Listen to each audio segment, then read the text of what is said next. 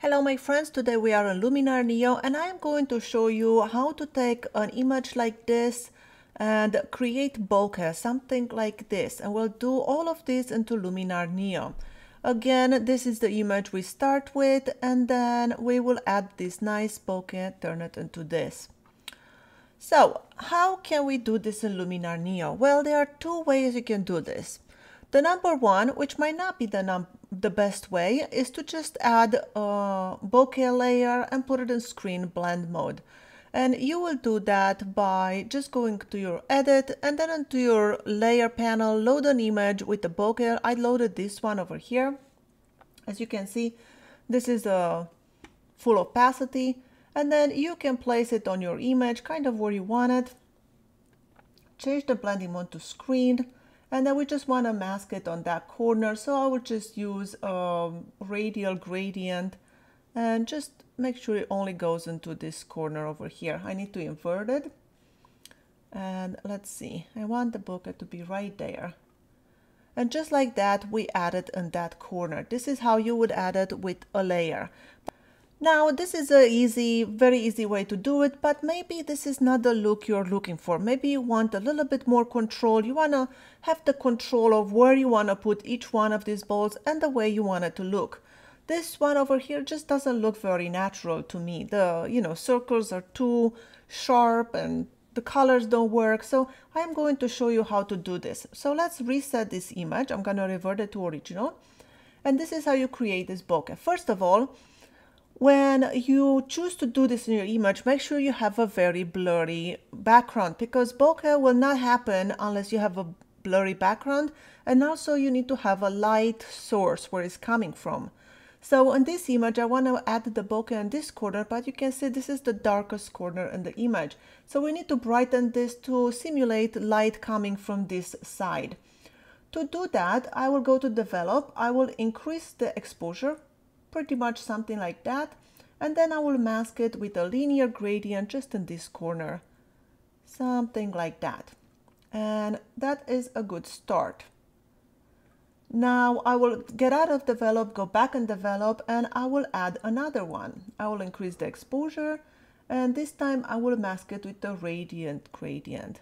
And there we go. But now we are applying it at the outside of our gradient, so we want to make sure we invert this. I'm gonna change the shape a little bit, something like that, and invert it. So there you go, our corner, it's even brighter. Now I'm going to add one more to make it look even more believable, and I'm going to increase something like that, add a mask, another radial gradient. I'm just gonna put this in this corner over here. And make sure you invert it. There you go. This is our light source. Light is coming from that corner. So, so far, let's see, we started with this and ended with this. Now it's time to add those nice bokeh balls. And this is really, really easy to do.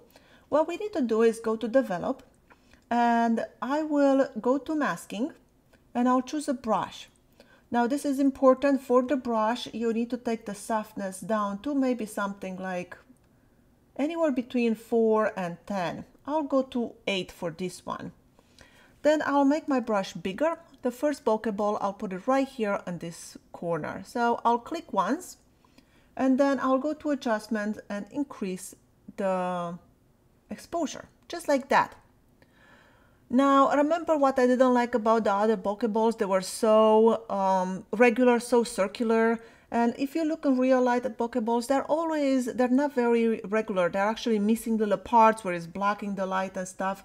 So what we need to do to make it more believable, we need to go into masking and we can erase part of this bokeh ball. So I'm gonna go just to take a corner off, something like this.